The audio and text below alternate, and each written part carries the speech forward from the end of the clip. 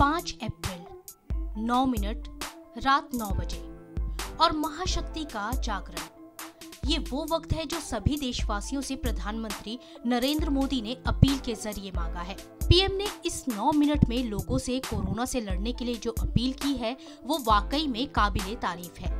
PM ने कहा कि 5 अप्रैल को सभी देशवासी अपने घर की सभी लाइटें बंद करके घर के दरवाजे पर या बालकनी में खड़े रहकर 9 मिनट के लिए मोमबत्ती, दिया, टॉर्च या मोबाइल की फ्लैशलाइट जलाएँ। चारों तरफ़ जब हर व्यक्ति एक एक दिया जलाएगा, तब प्रकाश की उस महाशक्ति का एहसास होगा कि हम सब एक ही मकसद से लड़ रहे हैं इस अंधकारमय कोरोना संकट को पराजित करने के लिए हमें प्रकाश के तेज को चारों दिशाओं में फैलाना है। और इसलिए इस संडे 5 अप्रैल को हम सबको मिलकर कोरोना के संकट के अंधकार को चुनौती देनी है। उसे प्रकाश की ताकत का परिचय कराना है।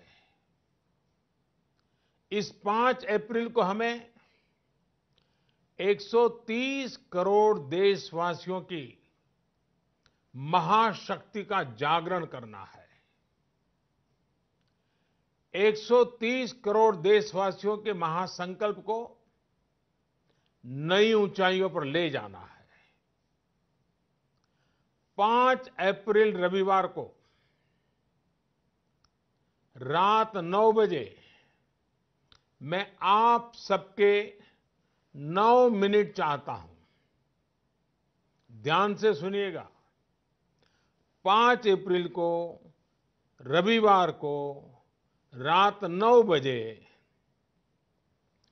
घर की सभी लाइटें बंद करके घर के दरवाजे पर या बालकनी में खड़े रहकर 9 मिनट के लिए मोमबत्ती, दिया, टॉर्च या मोबाइल की फ्लैशलाइट जलाएँ। पीएम मोदी ने अपने वीडियो संदेश में एक बार फिर लोगों से लॉकडाउन का सख्ती से पालन करने की अपील की। पीएम ने कहा कि इस लड़ाई में कोई भी अकेला नहीं है। बल्कि उसके साथ देश की 130 करोड़ की जनता है। हम सबको मिलकर कोरोना के संकट के अंधकार को चुनौती देनी है। उसे प्रकाश की ताकत का परिचय कराना है। देशवासियों को महासंकल्प को नई ऊंचाइयों पर ले जाना है। देश के प्रधानमंत्री तेरह दिन में तीन बार देशवासियों को संबोधित कर चुके हैं और पीएम ने अपने हर संबोधन में जनता से कोरोना के खिलाफ मजबूती से जंग लड़ने की गुजारिश की है।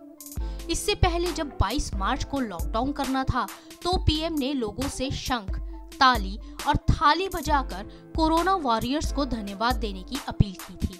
उनकी इस अपील पर देश की जनता का ऐसा समर्थन मिला कि दुनिया देखती रह गई। इसके बाद एक बार फिर जब पीएम ने 21 दिनों के लॉकडाउन के ज़रिए लोगों से होम क्वारंटाइन होने की अपील की तो इस बार भी लोगों ने उनका साथ दिया। आखिर ऐसा क्यों हुआ कि पीएम को तीन बार देश की जनता को संबोधित करना पड़ा? और क्यों हर बार लोगों से कोई ऐसी अपील की जिससे विरोधियों ने उन पर निशाना साधा? तो हम आपको बता दें कि पीएम की इन अपील के पीछे देश को एकजुट रखना तो है ही। वहीं इसके ज़रिए लोग खुद ही, खुद की हिफाजत कर सके। दरअसल इन अपील में नकारात्मकता को दूर करने के तमाम संदेश हैं। ऐसा माना जाता है कि शंख घंटी बजाने से नेगेटिव एनर्जी दूर होती है और इसलिए आरती के वक्त मंदिरों और घरों में लोग शंख और घंटी बजाते हैं। वहीं पुराने जमाने में खुशी में लोग अपनी खुशी ज़ाहिर करने के लिए थाली बजाते थे, क्योंकि हर घर में शंख या घंटी नहीं होते थे। और आज भी ऐसा हो सकता है। तो थाली और ताली बजाकर कोरोना फाइटर्स का धन्यवाद देना, उनके हौसले को बढ़ाना ज़रूरी था। वहीं जो इस बार पीएम मोदी ने 5 अप्रैल को रोशनी करने की बात कही है, उसके दो कारण हैं। पहला ये कि अंधेरे में नेगेटिव एनर्जी होती है, जो लोगों में निराशा और अवसाद का कारण बनती है और इस वक्त लॉकडाउन के चलते लोग घरों में बंद हैं। तो ज़ाहिर है कि कोरोना ने जो नेगेटिव माहौल देश और जनता में बनाया है, उसे प्रकाश के ज़रिए ही दूर किया जा सकता है।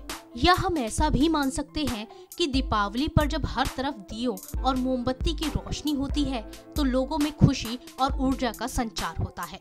इसीलिए कोरोना के अंधेरे को दूर करने का ये वो ज़रिया है, जिससे लोगों में ज़िंदगी जीने के लिए एक बार फिर से ललक पैदा हो। वहीं इसका दूसरा कारण ये भी है कि जब 9 मिनट तक पूरे देश में लाइट बंद रहेगी तो हॉस्पिटल और ज़रूरी सेवाओं के लिए बिजली को सेव किया जा सकेगा, जो ज़रूरी वक्त में बैकअप का काम करेगी। तो पीएम की अपील के साथ जनसत्य न्यूज़ भी आप लोगों से अपील करता है कि 5 अप्रैल को रात में अकेले बैठकर माँ भारती को याद करें। भगवान से मांगे कि वो हमें संकट की इस घड़ी से लड़ने की ताकत दे। और जीतने का विश्वास भी। हमारे उत्साह और हमारे स्पिरिट से बढ़कर दुनिया में कोई ताकत नहीं होती। दुनिया में ऐसा कुछ भी नहीं है जो हम इस ताकत के ज़रिए हासिल न कर पाए। और यही वजह है कि विश्व स्वास्थ्य संगठन, यानी WHO ने भी इस मुश्किल वक्त में पूरी दुनिया को भारत का अनुसरण करने की सलाह दी है। जनसत्य न्यूज़ के लिए सुनैना सिंह की रिपोर्ट।